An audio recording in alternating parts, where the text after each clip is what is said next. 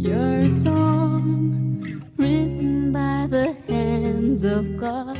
Don't get me wrong, cause this might sound to you a bit odd, but you own the place where all my thoughts go. High.